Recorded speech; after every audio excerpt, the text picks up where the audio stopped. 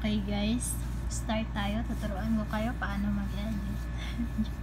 kasi ano kasi, marami nag-message sa akin, magpa-edit sila ng picture. Tapos, hindi ko nagawa kasi busy ako. Kaya turuan ko na lang kayo. Kayo na lang maggawa. Mag-install kayo ng apps and then kayo na maggawa. Okay, yan yung isang cellphone ko. Oras na, oh, 11.43 na. Ayan. Yan yung isang cellphone ko. So, ngayon, ito yung apps na ginagamit natin pang edit. Blend colors. Ayan. Click natin. Ayan ang maglabas. Pag edit mo, ganyan lang. So, dito tayo sa create. Click natin. Ayan. May add sa baba nakalagay. I-click natin yung add. So, yan ang maglabas. Dito tayo sa photos. Kasi mag-add tayo ng photos eh. Ayan. So, wala dito yung picture na gamitin ko para sa edit. Kasi ito, marami tong picture eh. Marami kasi akong picture dito sa phone ko na to. So, dito tayo sa back. Parang back siya. Ayan, maglabas yung mga picture na kung saan yung mga picture na gusto mong gamitin pang edit. So, ngayon, nag-save ako ng picture kanina sa messenger. Ito. Click natin. Ayan. So, for example, ito yung picture na gagamitin ko pang edit. Ito itong babae na to. Yan click natin. Ayan andyan na sa baba oh. so ngayon kasi wala dito yung picture. Gusto ko yung picture pa maghanap ako yung parang magkasame sila ng kulay nitong picture na gamitin ko mag edit so back ako dito dito ako magkuha. Yan kasi pang picture ko din yan eh. So ngayon maghanap tayo ngayon ng picture na ilagay natin kasi dapat ano eh kung mag-edit ka dapat magka medyo yung magkapareho yung kuan kulay ng picture na gamitin mo sa editing at saka dito sa view na kinuha mo. Para maganda yung result niya. For example yan. Saan ba? For example ito yung picture na kukunin natin. Gamitin natin para sa pang edit ayan. Ayan dyan na sa baba. Dalawa na yan. Yan. Yung dalawa So, dito tayo sa add photos. Click natin. So, ayan. Naglabas na yung picture natin. Dalawa na yan. Ayan. So, ngayon, kahit saan dyan, pwede mo i-cut na saan yung unahin mo. For example, itong picture natin, i-cut natin. Dito tayo sa mask. Cut ito siya. Click natin. Ayan. Ayan, nakalagay sa baba. Draw shapes and blur, blur of opacity. Okay. So, ngayon, mag-cut tayo. I-cut natin yan. So, syempre, yung kailangan natin sa picture natin, yung mukha lang. Yung mukha lang. Kasi, ilipat natin doon sa mukha na kinuha natin picture na para sa editing. So, ngayon, click natin. Kunin lang natin yung mukha. Dapat yung mukha lang. Okay na ba? Ayan, i-click natin. Dapat yung mukha lang yung makuha. Ayan. So, dito tayo sa check. Para makuha lang yung mukha. So, ayan, mukha na. So, ngayon guys, ito yung picture na gamitin natin para sa pang-edit. Ayan, ang sexy niya. ayan, ito yung picture na gamitin natin para sa pang-edit. Siyempre guys, para maganda yung result niya, dapat tanggalin natin yung mukha ng babae, tapos ilipat natin yung mukha natin. Pwede naman na mag-edit ka, hindi matanggalin yung mukha ng babae, kaso medyo hindi maganda yung result niya. Mas maganda pa rin pag tanggalin mo yung mukha ng gamitin mo sa editing. Okay, dito balik tayo sa kaan kasi tanggalin natin yung mukha ng babae. Balik tayo sa mask para makat natin. So, ayan. Yan na yung picture. So, ngayon, i-cut natin to guys. Dapat, yung mukha lang niya ang matanggal, hindi yung view. Kasi, once na natanggal yung view, halata na masyado na inedit siya. So, ngayon, so, ngayon, ito, i-edit natin. So, start tayo sa taas. Dapat yung mukha lang ang matanggal. Dito tayo sa taas mag-start. Tanggalin natin yung mukha ng babae. Ayan. Okay naman, may kunting view na kaan na dala, pero kunti lang. Ayan. Ayan. Ayan, yung, yung medyo nag-block yan ang matanggal ngayon. So, dito tayo sa check. Okay. Ayan na yung mukha ng babae. So ngayon, medyo nabawasan lang yung mukha niya. Kunti lang naman. Pero at least, di ba, medyo nag-blurred siya. Paglagay mo ng mukha mo, hindi na masyado maklaro yung mukha niya. Kasi yung mukha mo, ang maipalit natin. So ngayon guys, ito siya. Palaki natin. Mayroon din pagkakataon minsan ito siya nasa ilalim. Nasa ilalim. So ngayon, syempre, kung baguhan ka, hindi mo alam paano yan siya ipataas. For example, ilagay natin yan sa ilalim, yung picture natin. Tapos ito yung nasa taas. Syempre, dapat maganda yung pag-edit mo. Eh, dapat nasa taas yung picture mo. Sa bagay, pwede naman din kasi makita din kung ano, nasa ibaba siya. Pero, hindi maganda yung result niya. So, ngayon, para hindi siya magalaw, para maglabas yung ano dito sa dito sa gilid kasi may kuan dito sa gilid eh, may maglabas dito na layer o layer. So ngayon, i-click natin yung save.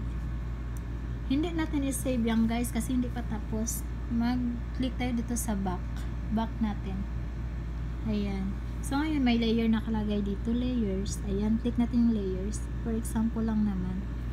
For example, ito ibaba natin yung picture natin. Click natin. Ay, up pala yun. Dito tayo sa down. Click natin yung, meron kasi one up and one down. And then, two top and two bottom. Dapat dito tayo sa one down. For example, ito ilagay natin sa ilalim ng picture na to. I-click natin yung picture. And then, dito tayo sa one down. Na-click ba? O, ayan. Nag-down na siya. So, nag-down na siya guys. Nag-down na yung picture natin. So, ngayon, example, ibalik natin yan sa taas. Siyempre, mag-start ako para, dito muna ako sa start para makita nyo. I-check ko muna. So, ngayon, naglabas ulit yung, yung layer. So, ngayon, click natin yung layer ulit. Para maitaas natin yung picture natin. Ibalik natin sa taas. So, ngayon, i-click natin itong one up. And then, yung picture natin. Ayan. Or, yung picture natin, And then, after, itong one up. Ayan. O, nasa taas na siya. Kasi minsan kasi guys, hindi magka-same yung ano niya. Yung stop 3G pa lang. Parang ganun. Ayan. So, ngayon, mag-edit na tayo kasi napakita ko na yung kung paano mo ipataas or paano mo ipababa. Ayan, may nakalagay dyan. So, ngayon guys, mag-edit na tayo. So, syempre, para maganda yung ano, yung maganda yung result niya, dapat palaki-lakihan natin konti yung picture. Ganyan. Pwede naman kahit hindi makuha yung shoes niya, ba? Medyo palakihin natin konti. Yan, kasi ito siya, ito siya zoom in to or zoom out. Yan. Or pwede pwede mo to gamitin sa rotate. Ayan. Medyo iliit lang konti. Ayan. For example, yan. Tapos ito yung picture natin, mag-edit na tayo tingnan natin kung ano yung result kung okay ba yung result or hindi. Kasi minsan yung picture kasi minsan hindi din siya magkatugma. Kaya yung mga nagpapagawa minsan hindi ko magawa kasi yung picture na pinapasan na sa akin hindi siya magkatugma sa mga picture na nakasave sa gallery ko na ginagamit ko mag-edit. Kasi mas maganda pa rin kung medyo malaki yung picture mo na kasi ano para makita natin yung ano niya, makita natin yung leeg sa pag-edit kasi minsan yan yung ano eh, yan yung maklaro, 'di ba? Maklaro masyado pagdating sa pag-edit ng picture. Dapat ano natin? Dapat yung hindi siya maklaro.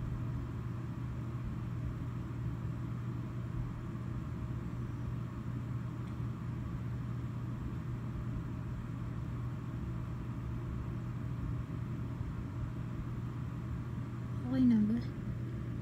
Medyo iba yung kulay ng picture natin guys.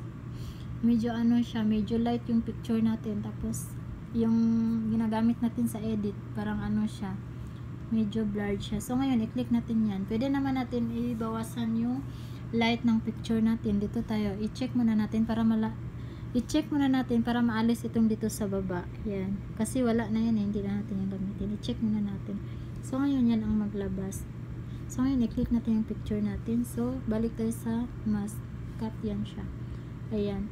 Ito yung adjust, adjust sa picture. Yung adjust sa light ng picture. Ito. Pwede yan. Yan, adjust yan siya. For example, yan, adjust siya. I-full mo, i-full adjust, no? Yan. And then, ito, adjust pa rin yan siya. Adjust pa ito.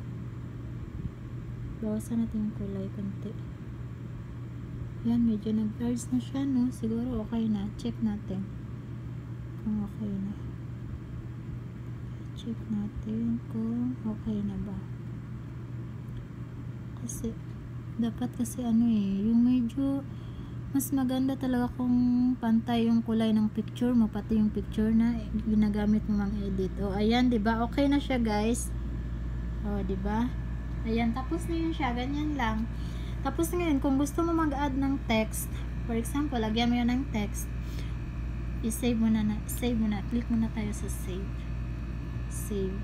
Pero hindi natin i-save, dapat mag-back tayo save dito. Yan.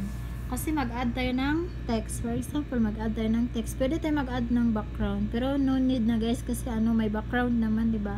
Okay na yung background niya. So, ngayon dito tayo sa add. Ayan, may yan ang maglabas. So, ngayon dito tayo sa text. Click natin yung text. So, yan ang maglabas. Kasi marami ka na mapilian dito para sa text. Ayan. Ayan. Marami naman. For example, ito yung napili natin na design sa text. Ayan. For example, isulat ko yung pangalan.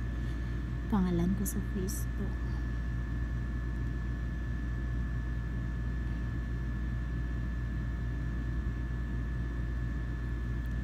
Yan, for example, ganyan. Yan yung ilagay natin. Dito tayo sa check. Ayan. I-move natin. Pwede natin i-move kahit saan. So, ilagay natin dyan. Ayan. So, di ba okay na yung result guys? So, hindi na siya maklaro na inedit. Parang totoong picture siya. So, ngayon, tapos na yan siya guys. Ganyan lang. Tapos, dito ka na. Save na. Ayan, i-save mo na kasi tapos na talaga siya. Save. Ayan, standard SD para ma-save siya. Ayan, save na yan siya. So, ngayon, mag-back tayo. Tingnan natin sa gallery natin. Kung nandun ba. Tapos na, saan ba yung gallery? Hapin natin yung gallery. Kasi itong phone ko na na isa guys, ginagamit ko mag-edit, hindi siya, medyo mababa yung ano niya, storage niya, kaya hindi ako maka-install ng iba't ibang ano, apps. Ayan na guys. O, oh, ba diba? Ayan na oh. Okay na siya. O, oh, ba diba? Okay na guys. Kasi kanina nag-edit-edit din ako ng ibang picture. Ayan. Tingnan nyo guys ha. Kasi kanina wala akong wala pa akong hindi pa maaga yung trabaho ko to. So, yan. I-try-try ko di-edit. Ayan. yung kanina, mayroon. Ayan naman yung kanina, eh. i-edit ko kanina. Oh. Ayan. Tapos, uh, where? Nasa na ba yung ginagamit ko sa kan? Ito yung totoong picture na ginamit ko sa pang-edit. Ayan. Thank you guys. Sana alam nyo na paano